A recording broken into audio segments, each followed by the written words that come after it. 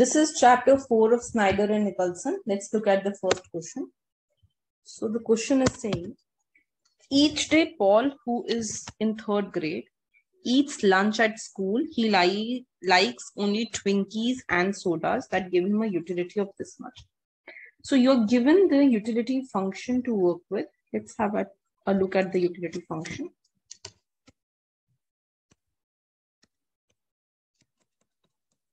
Given as root ts.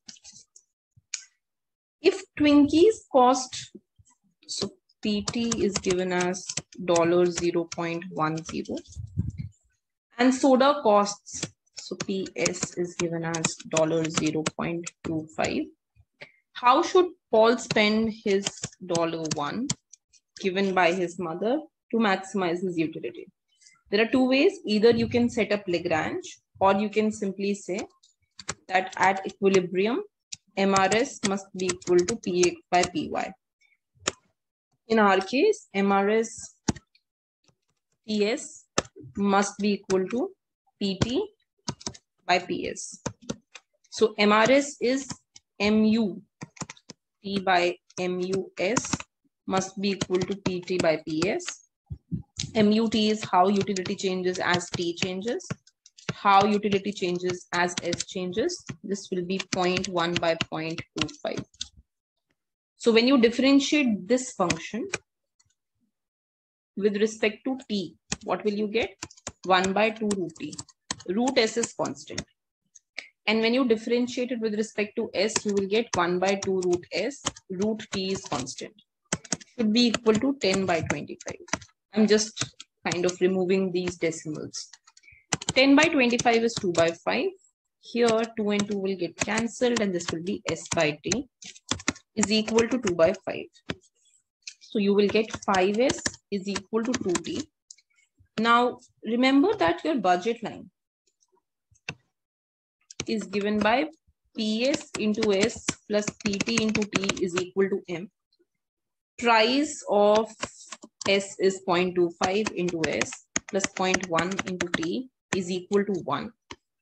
So 25 by 100 into s plus 1 by 10 into t will be 1.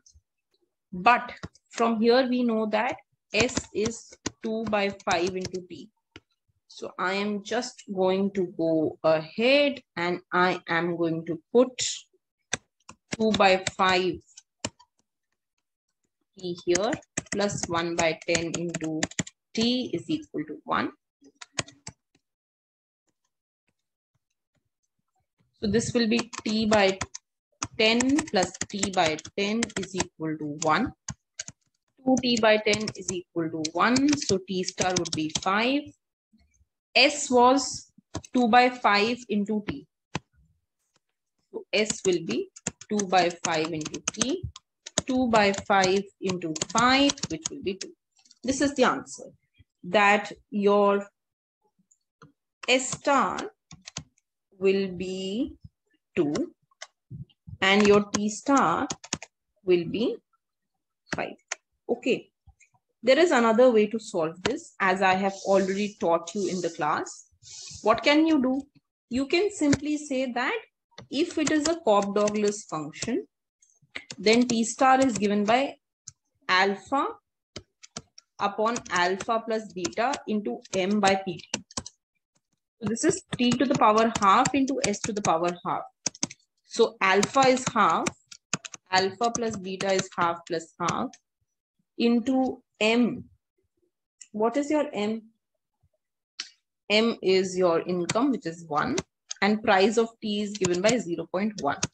So this will be half into 1 divided by 0 0.1. So it will be 10 by 2, which will be 5. Simply, you get the answer as 5. So you don't have to go ahead and you don't have to change anything. You will simply get the answer as 5.